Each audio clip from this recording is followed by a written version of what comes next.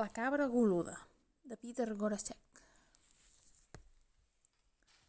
Un dissabte al matí, la cabra va decidir que ja n'estava tipa de menjar herba i altres plantes.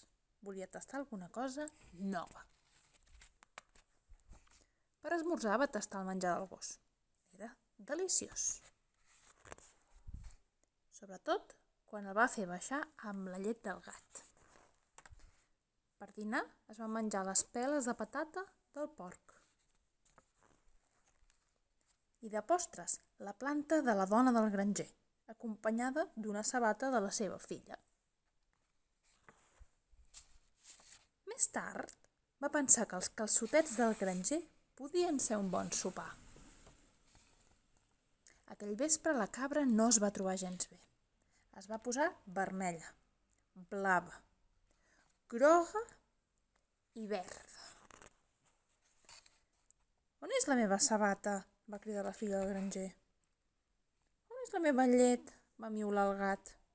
On són les meves peles de patata? va grunyir el porc.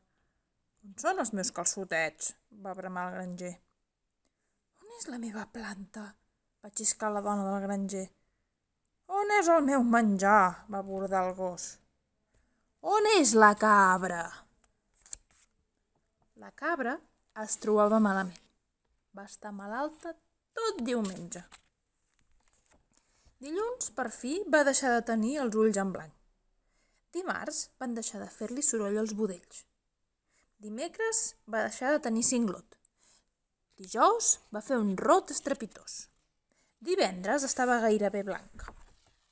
Dissabte la cabra ja tornava a ser ella. El granger va donar més peles de patata al porc. Al gat li van posar més llet i el gos més menjar. El granger mai no va trobar els calçotets. La seva dona va plantar una altra planta. La seva filla mai no va recuperar la sabata. Però tots es van alegrar que la cabra es tornés a trobar bé. Mentrestant, la cabra es menjava les botes d'aigua del granger.